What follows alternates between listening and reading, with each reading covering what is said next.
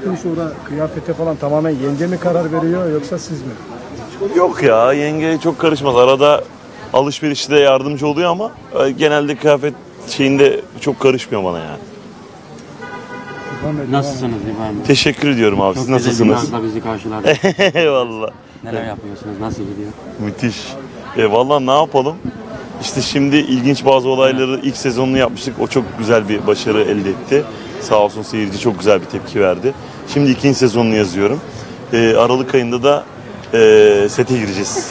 İnşallah bakalım. Çok güzel geri dönüşümler aldık. Evet, evet çok güzel aldık. Çok güzel yani kanal içi izlenmesi çok yüksek oldu. Biz de çok mutlu olduk. Gelen yorumlar da çok güzel, çok mutluyuz. O yüzden ikinci sezonu yapacağız. Onun hazırlıklarına başladım. Onun senaryolarını bitirmek üzereyim. Ondan sonra ön hazırlığı ve herhalde Aralık ortasından da çekime başlayacağız. Farklı bir şeyleri de yazıyoruz. Komedinin dışında çok değişik. Bu, bir bu şeyler. dizi biraz öyleydi zaten. Dram komedi gibiydi. Ondan sonrasında da bitirdikten sonra da herhalde önümüzdeki e, ilkbaharda bir film çekme planım var. Onu da 2022'nin sonbaharında yani bu dönemde, gelecek yıl bu dönemde de sinemada e, ne kadar oldu? İki sene oldu. İki sene. Biraz geç kalındı mı? Çünkü bir sıralama yapılmıştı. Yok aslında aslında şimdiden onun planlamasını yapıyoruz. Yeni sezon için aslında. Sezon genelde Eylül ayında başlıyor ya sinemalarda. O yüzden yeni sezona planlıyoruz. Hani biraz daha pandeminin etkisinin azaldığı dönemi bekliyoruz. Şimdi yavaş yavaş sinemalar kendine gelmeye başladı. Bu aşılam evet ediyorum tabii ki tabii ki. Şu an şu an en son Bond'u izledim. Ee, işte Venom girdi, Venom 2 girdi mesela. O çok güzel bir üç gün açılışı yaptı. Şimdi yeni iki tane daha güzel bir Hollywood filmi girdi. Dün girdi. Ee, The Last Duel girdi. Onlar da iyi filmler. Onlar da seyirciden güzel ilgiler görüyor ama ufak ufak yani biraz daha tabii işte bu genelde toplu organizasyonlarda yavaş yavaş seyircide e, güven duygusu arttıkça, işte aşılamalar arttıkça e, biraz daha hani e, artacağını düşünüyoruz. Siz bir şey yazdığınız zaman hep sorulur, konuşulur ya. Üçlü bir arada olur mu? Yani bu Yok, olmadan yok olmayız. Olmayız. Yani yeni başka bir şey yapacağım. E, üçlü yapmayız yani şu an. Tamamen yani herkes kendi yolunda gitmeye başladı. E, evet arkadaşlarımız devam ediyor. Şimdi herkes kendi başına bir şey yapıyor. Geçen Ben- gün buluştunuz aslında söyleyeyim. Evet evet evet bir araya geldik. Herhalde biz 4 yıldır ilk defa bir arada bir Evet. buluştuk. Çok güzel Seyirci bizim için bizim için çok biz de çok özlemişiz birbirimizi. Çok eğlenceli bir söyleşi oldu. Çok güzel bir söyleşi oldu. Birbirimize hasret kalmışız. Sahnede de böyle e, beraber geyik yapmak çok mutlu etti yani. Var mı düşündüğünüz bir şey beraber yapmayı şu sıralar veya Yok şu anda yakın bir zamanda beraber bir şey yapmayı düşünmüyoruz. Beyazı Dostluk'la birlikte bir Evet, e, Beyazıt abiyle evet yapacağız. Evet, E, Beyazıt abiyle hatta dün toplantısını yaptık. E, Aralık ayında çekeceğiz. E, Ocak 1'de de yine eksende e, bir program tarzı. bir program yapacağız. Birlikte bir program yapacağız. Değişik biraz daha internet gündemiyle alakalı değişik bir program olacak. Onun hazırlıklarını yaptık. Şimdi artık e, stüdyosu ve diğer asıl aslında fiziki aşamalarına geldi. E, Aralık'ta da çekmeye başlayacağız. E, Ocak 1'de de hedefimiz e, ekranda olmak. Peki hem siz hem Eser ya- ve e, ilgili baba oldunuz. Evet. Bir araya geldiğinizde Bey'le bir baskı oluyor mu? Yok ya bizde baskı yok ya. Hiç birbirimize baskı yapmadık bugüne kadar. E sadece hani duygularımızı paylaşıyoruz hani ne kadar mutlu olduğumuzu, hani bebeğin bizi ne kadar mutlu ettiğini söylüyoruz. O da hazır olduğu zaman e, mutlaka bir çocuğu olur inşallah ona da nasip olsun. Ya çok güzel bir duygu çünkü. Ya İsteyen herkese umuyorum çocuğu olur abi.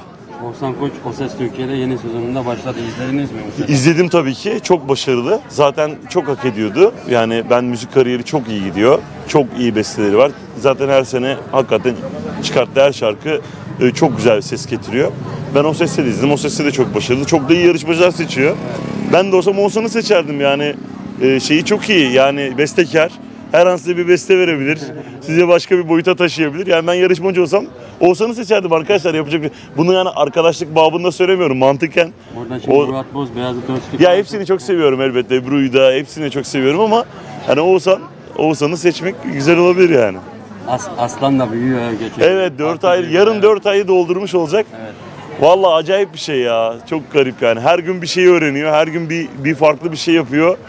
Yani diyorum ya işte çocuk sahibi olmayınca hep böyle şeyler anlatılır sıkıcı olur karşı tarafa. Hep fotoğraflarını gösterirlerdi bana. Bak benim çocuğum ne yapıyor, bak benim çocuğum ne yapıyor falan. Ben de öf öf derdim ama insanda o duygu oluyormuş yani. Hemen kendi çocuğunu göstermek istiyorsun. Peki ondaki edinmiş olduğun deneyimlerinizden bir şeyler yazıyor musunuz? Tabii ki de, tabii ki de. Onlar da bir şey dönüşecektir. Sonuçta hep her yazdığımız şey kendi hayatımızdan yola çıkarak aslında karakterleştiriyoruz ve yazıyoruz.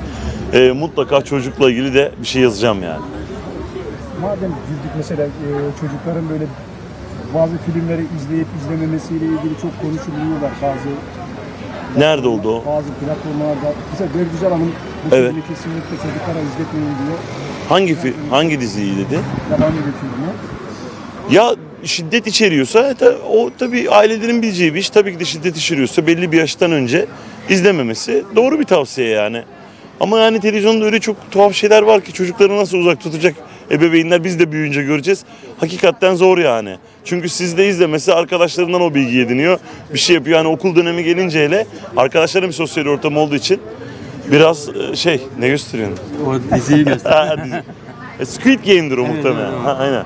Ama tabii şiddet içeren bir film doğru bir tavsiye ama dediğim gibi çocukları da uzaklaştırmak da kolay değil bu dönemde. O kadar dijital, her şey o kadar dijital ki telefonunda görüyor, bir şeyde görüyor, arkasından duyuyor. Yani zor tabii ki de yani. Konu, konu açılmışken Okan Bayülgen'i soralım. O da sosyal medya fenomenlerine alakalı bir açıklama yapmıştı. Onlar çöp, onlar zavallı, onlar para kazanmak isteyen. Abi ben öyle nasıl bakıyorsunuz? Benim öyle Orada sert bir düşüncelerim hay- yok. hay- hayat var ya, çünkü Ya ortada bir kardeşlerimiz para- herkes evet. herkes bir şeyler üretsin, güzel şeyler üretsin. Herkesin yolu açık olsun abi. İnternetteki arkadaşlarımız da çok güzel şeyler üreten arkadaşlarımız var. Evet. Herkesin yolu açık olsun abi. Biz her zaman desteğiz yani. Peki çok teşekkür ediyorum. Ben de ben teşekkür ediyorum abi. İyi akşamlar. Detay. Abi kendinize iyi bakın. Görüşürüz. Eyvallah. Sağ olun.